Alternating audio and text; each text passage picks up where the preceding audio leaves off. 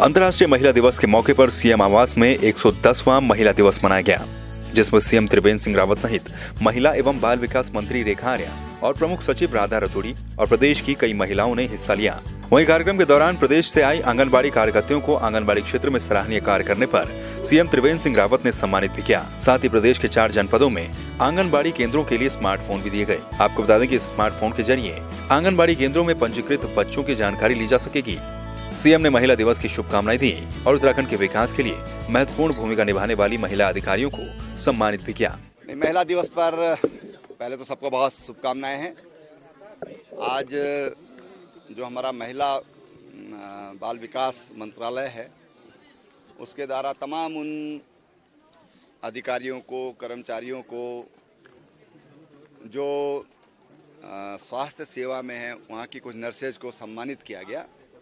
और जो महिला गतिविधियों में अधिक सक्रिय रहे हैं, ऐसे जिला के जो अधिकारी हैं, उनको भी सम्मानित किया गया है।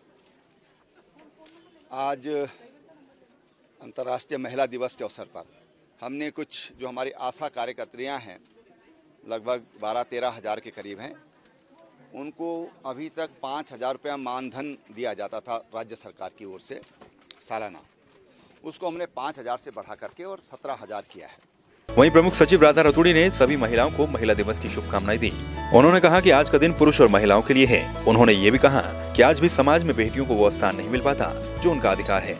आज अंतर्राष्ट्रीय महिला दिवस है। उसके लिए मैं सभी भाइयों बहनों को बधाई देना चाहती हूँ क्योंकि महिला दिवस केवल महिलाओं के लिए नहीं ये पूरे समाज के लिए है और विशेष रूप से पुरुषों के लिए क्योंकि अगर पुरुष संवेदनशील होगा तो एक बेहतर समाज होगा, समरसता होगी और महिलाओं को उनका अधिकार मिलेगा।